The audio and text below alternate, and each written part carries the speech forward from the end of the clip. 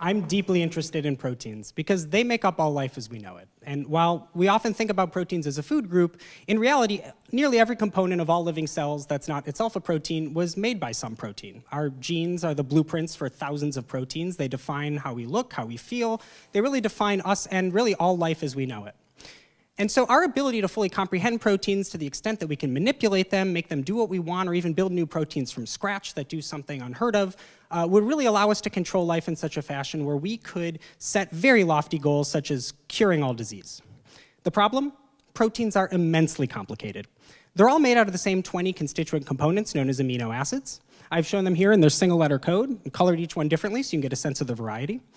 And these amino acids are strung together in a specific sequence that dictates a protein's structure and function. And you can think of this the same way that letters are strung together to form sentences or paragraphs.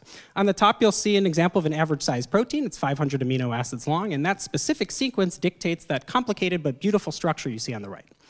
Now, our ability to fully understand why precisely that sequence, but not others, dictates that structure and function is hampered by an astronomical problem. That is, with 20 amino acids with 500 positions, or 20 to the 500, there are more possibilities of a protein of an average size than there are atoms in the universe. We cannot possibly comprehend all the possibilities. Now, our lab has gotten around this by creating much, much, much simpler and smaller proteins like the one you see right below it that creates that fairly predictable, uh, very simple structure. That protein's only 25 amino acids long. And amazingly, these proteins still do something. They still have a biological function or a biological effect. And in fact, the three that you see below that, each one a unique sequence, 25 amino acids long, dictates a different biological function. Now, even proteins this small are still nearly impossible to comprehend why one sequence and not others has that specific function, because even at 25 residues long, or 20 to the 25th, there are still more possibilities than there are stars in the universe. That number is one octillion.